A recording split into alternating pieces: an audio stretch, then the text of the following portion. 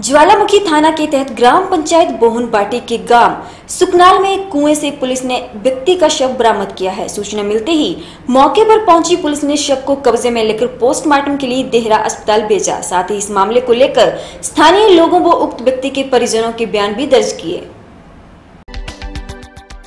ज्वालामुखी थाना के तहत ग्राम पंचायत बोहन भाटी के गाँव सुकल नाला में एक कुएँ में पुलिस ने व्यक्ति का शव बरामद किया है। सूचना मिलते ही पुलिस मौके पर पहुंचकर शव को कब्जे में लेकर उसका पोस्टमार्टम देरा अस्पताल के लिए भेज दिया है। साथ ही इस मामले में स्थानीय लोगों व उक्त व्यक्ति के परिजनों के बयान भी दर्ज किए गए हैं। मृतक व्यक्ति की पहचान कश्मीर सिंह के रूप में हुई है। पुलिस की प्रारंभिक जाँच में सामने आया है की ये मामला आत्महत्या से जुड़ा है। ऐसे में पुलिस ने इसके आधार पर सीआरपीसी की धारा एक सौ चौहत्तर के तहत मामला दर्ज कर आगामी कार्रवाई शुरू कर दी है। मामले की पुष्टि डीएसपी ज्वालामुखी तिलक राज ने की है।